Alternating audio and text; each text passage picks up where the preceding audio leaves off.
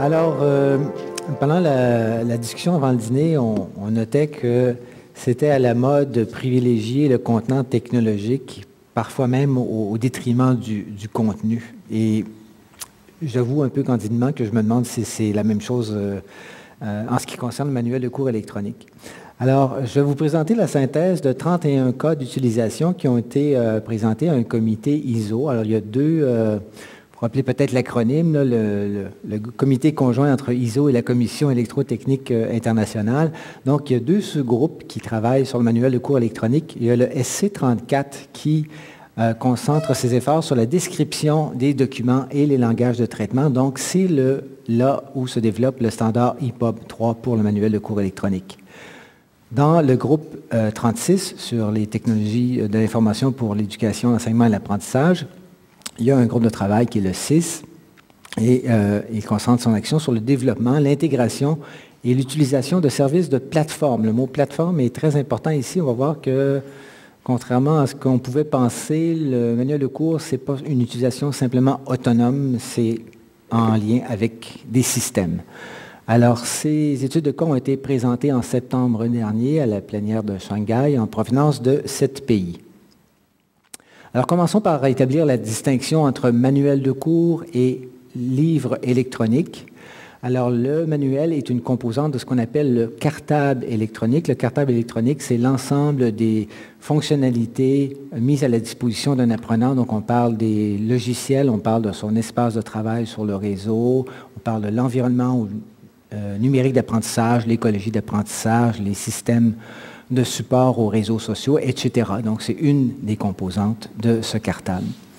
Et qu'est-ce qui va les distinguer du livre électronique? Ben, c'est l'interactivité, et particulièrement dans les études de cas, ce qui est mentionné ici, c'est euh, l'emphase sur la possibilité d'administrer des questionnaires à l'apprenant et de recueillir ces données-là. Autre élément très important aussi, connectivité, interactivité, apprentissage collaboratif, partage d'annotations, partage de signets, partage de contenu. Donc, euh, on va le voir tout à l'heure, toute euh, une connexion à une plateforme d'échange d'informations. Et finalement, le manuel est doté d'outils semblables à ceux qu'on va trouver dans les tableaux numériques interactifs. Alors, par exemple, un rapporteur d'angle qu'on peut déplacer sur l'écran on va aussi avoir des tables à dessin, des outils d'annotation qui peuvent être euh, l'annotation textuelle ou encore l'annotation vocale. Euh, au sein du Conseil euh, canadien des normes, on a, nous, développé une contribution sur l'importance des annotations, le partage d'annotations, l'apprentissage collaboratif. ce ne sera pas inclus dans la première version de EPUB 3, mais ça sera considéré pour des développements futurs. Un autre outil qu'on va trouver aussi dans le manuel, c'est la possibilité d'enregistrer un cours, euh, soit avec la caméra ou avec l'audio. Les appareils de lecture. Bon. Actuellement, euh, évidemment, on, pense toujours au iPad, mais euh, dans la plupart des cas d'utilisation, il y a un recours très, très grand à l'ordinateur personnel parce que finalement, pourquoi pas? toutes les fonctions sont, là aussi et ça permet justement d'éviter les problèmes de ce qu'on appelle le fossé numérique. Tout le monde n'a pas le moyen de s'acheter une tablette tactile, mais les écoles sont dotées de parcs d'ordinateurs, donc pourquoi pas mettre à profit cet équipement-là. Alors, on parle de tablettes grand public, on parle de tablettes dédiées. Pour l'instant, on n'a pas vu énormément de, d'extrants de ces expériences-là. Ça reste très, très limité, mais c'est en expérimentation. Euh, le téléphone intelligent, pourquoi pas aussi, c'est une façon d'accéder au contenu. Et le tableau numérique interactif par projection. Euh, vous direz que c'est peut-être typique des Français, mais dans les expériences qu'on a vues avec les Français, ils vont brancher la tablette sur le tableau numérique interactif. Comme ça, le professeur garde le, contrôle du contenu et, euh, de toute la pédagogie. Alors, ces outils-là ont par contre, euh, un désavantage, c'est qu'on peut observer la fatigue numérique. Alors souvent, ça fonctionne par euh, rétroéclairage. Donc au bout de quelques heures, vous le savez, si vous êtes euh, comme moi des, maniaques du iPhone ou du iPad, à les, yeux commencent à, à, crier grâce. Et dans le cas des tableaux numériques interactifs, évidemment, il y a la projection. Ce qui fait que généralement, au bout d'une heure et demie, deux heures d'interaction, ça commence à être difficile euh, pour euh, les enseignants et pour la classe au complet. Donc, ce problème-là n'est pas résolu. Ce qui serait intéressant, c'est d'avoir un éclairage euh, comme celui du Kindle, donc à la, lumière du jour. Finalement, il n'y a pas d'éclairage dans, le dispositif. Il y a simplement une, réflexion. Mais vous voyez ici que ce n'est pas un appareil qui est considéré pour le manuel de cours électronique, qui n'a pas les fonctions et les outils dont on a parlé tout à l'heure. Et c'est la même chose pour les téléphones non intelligents, donc les téléphones idiots ne peuvent pas servir à accéder au manuel de cours électronique. Alors, on parlait de connectivité. Voici euh, un modèle d'infrastructure de distribution. Bien sûr, ce que je vous présente ici, c'est un amalgame de l'ensemble des 31 cas d'utilisation. Donc, il n'y a aucune expérience qui ne tient compte qui tient compte de l'ensemble des facteurs, puis que l'ensemble des objectifs qu'on va distribuer ici, qu'on va euh, élaborer ici, c'est euh, un portrait d'ensemble, mais ça ne correspond pas à un projet précis. Donc, au niveau de la distribution, on a besoin d'une euh, fonction d'authentification. On doit pouvoir se brancher au réseau. Pourquoi? Parce qu'on est un élève, donc on va vouloir que les résultats du questionnaire soient transmis au système de gestion pédagogique. Alors, pour ce faire, euh, on parle de plus en plus de fédération d'identité. D'ailleurs, euh, à la fin de la journée, je vous le mentionnerai de nouveau, mais on vient d'obtenir un rapport sur la fédération d'identité, donc un travail qu'on a commandité au GTN euh, qui est extrêmement complet, qui fait tout le tour de la question de la fédération d'identité au Québec, euh, autant au niveau euh, primaire, collégial qu'universitaire. C'est un rapport qui est disponible gratuitement sur notre site en passant. Donc, fédération d'identité, qu'est-ce que ça veut dire? Ça veut dire qu'avec un nom d'utilisateur et un mot de passe, j'accède à un service qui, lui, va s'occuper de donner ces informations aux différents services pour lesquels, normalement, j'aurais eu d'autres noms d'utilisateurs et d'autres mots de passe, tout en essayant de protéger euh, l'information qui est personnelle. Ils vont donner que l'information utile à l'authentification. Autre élément très important, la question de la gestion des droits. Évidemment, si on parle de matériel qui, a été, euh, qui sont produits par des éditeurs, ben, il faut que l'école ait acquis des droits d'utilisation. Donc, cette gestion-là va se faire par l'infrastructure de distribution. Alors, euh, le système va aussi gérer le contenu. Il va voir, est-ce que vous avez la version la plus récente du manuel de cours électronique? Sinon, il va vous la télécharger, hein, après avoir vérifié que vous aviez bien le droit de consulter cette version, bien sûr. Liste noire, liste blanche. Ben, tout simplement, vous êtes en train de faire, euh, de répondre à un questionnaire. Euh, le système devrait être capable de vous bloquer l'accès aux autres services Internet et connectivité pour que ce soit le plus possible vous qui répondiez au questionnaire et non pas un collègue et que vous n'allez pas chercher des réponses un peu partout. Euh, pendant la journée, pendant que vous êtes en classe aussi, il y a peut-être des règlements internes et il y a des listes de, sites noirs euh, et qu'il faut absolument bloquer. Euh, par contre, cette protection pourrait être enlevée pour euh, le soir ou la fin de semaine si euh, l'étudiant a un accès à partir de son domicile. Donc, il y a toute une gestion ici des, accès qui doit être fait, comme l'accès à d'autres services. Alors, on pense naturellement aux services de bibliothèque. oui, vous avez un manuel de cours électronique, mais ça reste quand même impensable que vous ne soyez pas en même temps aussi branché aux ressources, au catalogue de votre bibliothèque scolaire, de la bibliothèque de votre institution. Accès aussi à des outils collaboratifs, des, supports euh, au réseau collaboratif. Euh, une, euh, utilisation très intéressante de la notation, par exemple, ben, c'est pourquoi ne pas partager les annotations à l'intérieur de la classe ou avec, avec des gens de, l'extérieur ou avoir, avoir la possibilité de, de, consulter les annotations de d'autres groupes auparavant. Donc, c'est tout un aspect collaboratif. Il y a même un projet, par exemple, où on demande aux élèves de créer eux-mêmes un manuel de cours électroniques. Et évidemment, la question des références, que ce soit un atlas euh, ou Wikipédia, etc.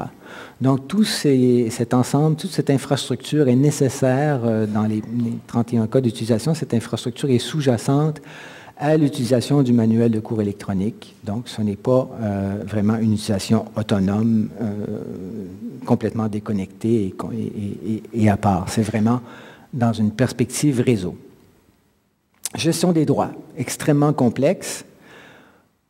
Euh, on l'a vu tantôt dans le système d'authentification. Donc, est-ce que j'ai le droit de consulter tel site? Est-ce que le contenu est sous Creative Commons? C'est très complexe parce que la plupart des gens, y compris euh, souvent nous-mêmes, on ne prend même pas la peine d'identifier ou de marquer dans notre contenu sur le web quelle est la licence associée, si le, contenu peut être utilisé ou pas.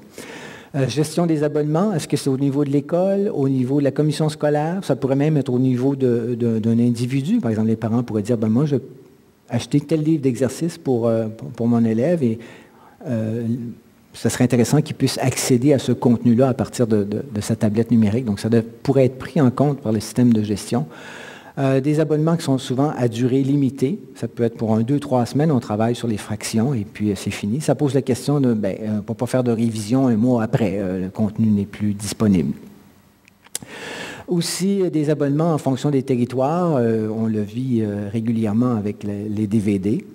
Alors, on peut imaginer des situations, par exemple, où je suis inscrit ici à la TELUC, je suis en France, la TELUC a conclu un accord avec un éditeur pour que j'ai accès au contenu, mais comme je suis en France, ben, euh, le serveur va me refuser l'accès au matériel parce qu'il y a une gestion par territoire. Alors ça, ce sont les, droits, je dirais, de, distribution. Il y a des droits aussi au niveau du contenu. Euh, je me verrais mal avoir un manuel de cours électronique où je ne peux pas copier un paragraphe puis le mettre dans mes notes de cours. Par contre, je comprends très bien que l'éditeur ne me permette pas de copier tout le contenu puis de le mettre dans mes notes de cours. Alors, où ça commence, où ça se termine, c'est pas évident. Et évidemment, il y a les questions de distribution au niveau personnel. Est-ce que je peux prêter mon manuel de cours à quelqu'un d'autre? Est-ce que le service va reconnaître cette personne-là comme n'étant pas moi, etc.? Euh, est-ce que je peux revendre le matériel par la suite? Euh, pour l'instant, les éditeurs préfèrent euh, que non.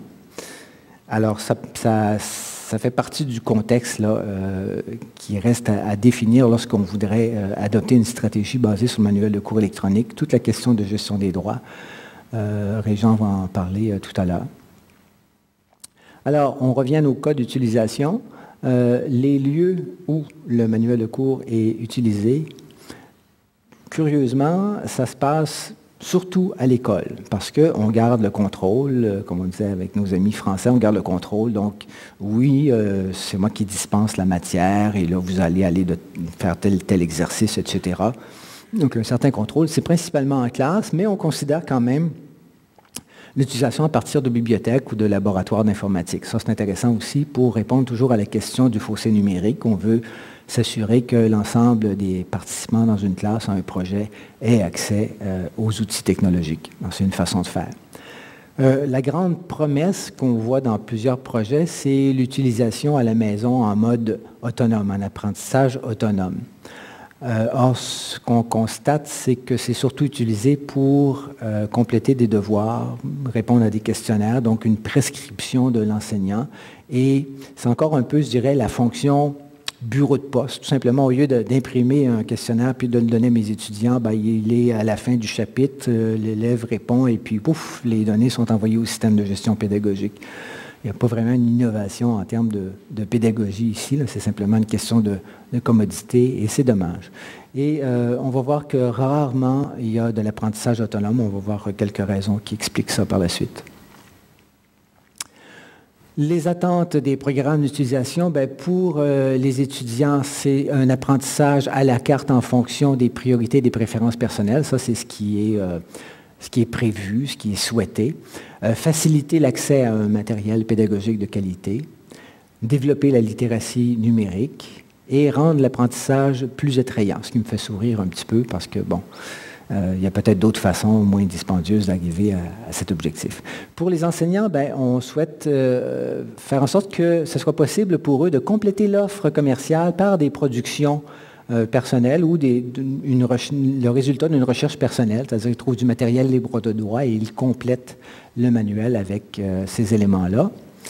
un autre élément qui fait sourire un peu, diminuer le travail de correction. Bon, euh, permettre le partage et la réutilisation de contenu entre enseignants. Ça, c'est extrêmement intéressant qu'un enseignant développe un manuel ou un chapitre de manuel qui puisse le prêter à ses collègues ou pourquoi pas le vendre aussi. Alors, euh, ça présuppose donc que l'enseignant puisse être capable de manipuler ce contenu-là. Marc-Antoine en a parlé un peu ce matin.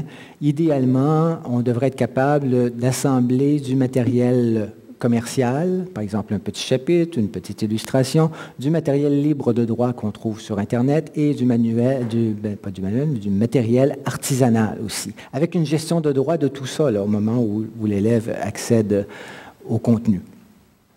Alors, ça présuppose qu'éventuellement, on pourra disposer d'un outil d'édition qui supporte l'édition en format multiple pourquoi pas ne pas produire, par exemple, des notes de cours à la fois, des pages web ou le manuel électronique à partir du même contenu, ce, dont Marc-Antoine a parlé aussi ce matin.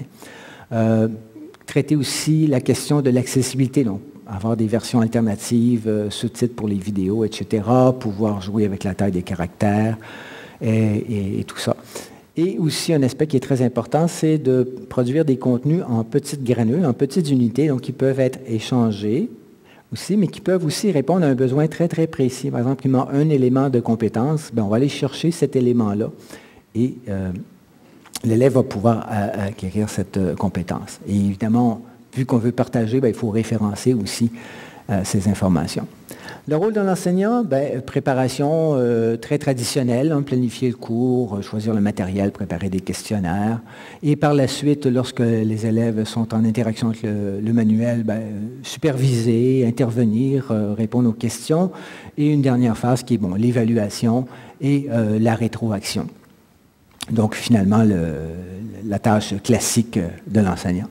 Du côté de l'apprenant, ben, c'est tout aussi classique. Donc, on prend euh, connaissance des instructions, on utilise le matériel, on répond aux questions, on fait un peu de travail collaboratif, on soumet nos réponses et puis on fait le point sur son apprentissage. Alors, ces deux cercles-là se combinent dans l'utilisation du manuel de cours, donc c'est la, section qui est comme en orangé. Toutes ces actions-là vont se produire simultanément, euh, supportées par la plateforme euh, d'échange d'informations lors de l'utilisation du matériel. Alors au niveau pédagogique, qu'est-ce que ça donne? Ben, euh, Ce qu'on observe, c'est qu'il y a encore énormément de contraintes organisationnelles. Pourquoi il n'y a pas d'apprentissage autonome? Parce qu'on n'a pas prévu de tuteur en dehors des heures de cours. Alors euh, l'élève est laissé à lui-même. Bon, ce n'est pas, euh, pas très, très, très pratique. le contenu, on remarque qu'il y a encore peu de matériel enrichi qui fait appel à toutes les possibilités qui sont dans le manuel de cours électronique. Ça coûte quand même assez cher de développer ce contenu. Il faut prendre le temps de le faire, de faire comme il faut. Il y a aussi le fait que le contenu est souvent teinté de la vision culturelle des auteurs. Prenons par exemple des illustrations de processus d'interaction sociale. Si je prends du matériel qui est développé en Orient, euh, j'ai une très grande préoccupation pour le, bien-être et l'équilibre du groupe au détriment du bien-être individuel ou de, la satisfaction des besoins individuels. Alors, ces illustrations-là, même s'ils sont très utiles en Asie, euh, dans un contexte nord-américain, risquent d'être très mal interprétées ou, comprises euh, par les apprenants. Pardon? Et oui, tout à fait, tout à fait. Alors, le contenu aussi est monolithique. On disait tout à l'heure, on aimerait savoir des petits morceaux, pouvoir les, rassembler. Les éditeurs ont, tendance à vouloir garder le marché, donc ils produisent un contenu monolithique et euh, on travaille avec ça. Le plus triste là-dedans, c'est que l'efficacité pédagogique, pour l'instant, reste encore à démontrer. On a plein de bonnes intentions, mais on n'a pas réussi à démontrer qu'il y avait un apprentissage euh, significatif et on a observé dans des cas où il y avait une utilisation intensive du manuel de cours électronique aussi une baisse des interactions sociales. En conclusion, de ces 31 cas d'utilisation, donc, euh, on retient surtout comme avantage la facilité de distribution d'un matériel de qualité, une approche qui reste stimulante avec tous les outils, tout ce qui est à la disposition pour peu que l'enseignant en tienne compte dans sa stratégie, dans sa, planification d'apprentissage. Euh, ça peut être extrêmement stimulant pour l'élève, travailler en réseau, partager euh, ses signets, partager ses commentaires, ses annotations, etc. Et la capacité de s'adapter aux besoins individuels. Euh, au, niveau au niveau des exigences, donc on l'a bien souligné, je pense, la nécessité d'avoir une intégration de système. C'est un outil communicant. Ce n'est pas un outil qu'on utilise euh, dans son coin et complètement euh, déconnecté des réseaux. Les difficultés qui restent à résoudre, ben, euh, une véritable innovation pédagogique, mais je pense que c'est le cas pour la plupart des cycles d'adoption des nouvelles technologies. Au début, on l'utilise toujours d'une façon un peu traditionnelle et finalement, on finit par trouver des usages précis. Euh, répondre à toute la question de définition des droits. Quels devraient être les droits fondamentaux? Copier, copier quel contenu revendre, redistribuer, etc. actuellement, on n'a pas de pratique encore. On ne peut pas vraiment alimenter les éditeurs en leur disant vous devriez gérer le contenu ou les droits de telle telle manière. Et évidemment, le manque d'outils d'édition et d'assemblage qui pour l'instant reste un problème euh, assez important, mais euh, il y a des projets dont Régent va vous parler, donc ces gens-là ont sûrement beaucoup euh, de développement et d'outils qui devraient être diffusés assez rapidement. Alors, je parle toujours de questions de droit, donc j'ai la source de mes illustrations en Creative Commons pour terminer. Merci.